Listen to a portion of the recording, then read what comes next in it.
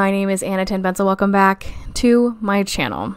I am here today doing this LeetCode problem set, doing question number 60, and I don't know why it's not here, but we did this solution in Python on the 14th um, while I was out of town. So let's go ahead and show you how I did.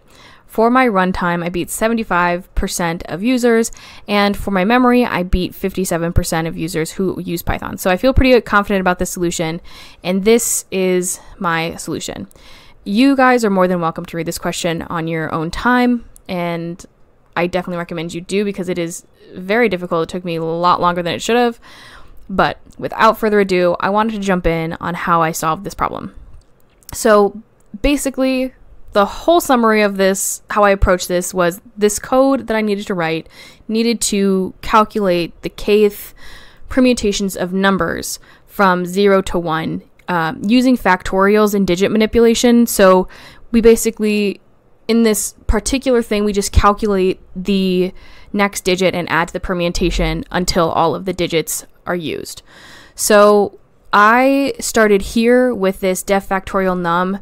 Um, this just defines the helper function called factorial, and it calculates the factorial of a given number, in this case num, um, and it uses a, recurs- a recursion to calculate um, the factorial. So if num is 0 or 1, um, it returns 1, the base case. Otherwise, it recursively multi- multiplies num by the factorial num minus 1. Um, we then get into the down here these um, digits equals list, which is just a, li- a, creating a list that's called digits containing the number um, the numbers from 1 to n as strings. And this list basically just represents the available digits that can be used in those permutations. Um, and then for this k minus equal to 1, we just decrement k by 1. Um, and then this adjustment is made because the permutations are usually 0 based, while k is 1 based. Um, and then we have a empty list that we initialized called results, which will just store those digits um, of the kth permutation. We then jump into this loop here, and inside of this loop, um, we iterate n down to 1, which is inclusive, using a step of minus 1. So that just calculates the factorial of i minus 1 using the factorial function. And essentially, what it'll do is assign the variable fact, and this value is then repre- uh, represents a number of these permutations um, possible for the remaining digits. And then we also then calculate the index, which is index, uh, of the di- next digit to be added to the result.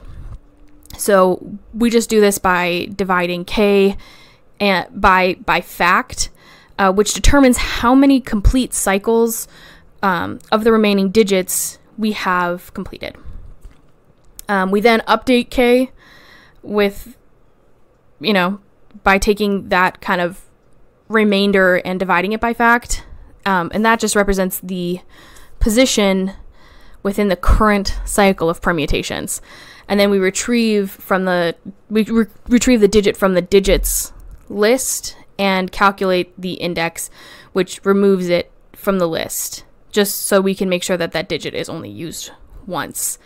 Um, and then it appends the result. It appends it to the results list, and that loop will continue until all of the digits are added to the result list, forming the kth permutation. So we finally join it together with the elements in the result list um, into a single string and return it as a kth permutation. So that is basically how I tackled this question um, and broken down kind of in this line by line uh, situation. But overall, I'm actually pretty happy with the result given the information that I had. Um, I think I would like to try doing this again because I think I could have done it a little bit differently, but again, that's another another video, another time. Um, but anyway, thank you guys so much for watching. I have this uh, code in my GitHub repo, which is in the link in the video description down below. You guys are more than welcome to fork and clone, make it better, make it worse, have some fun, learn something new, and I will see you guys in the next video. Thank you so much for watching. Goodbye.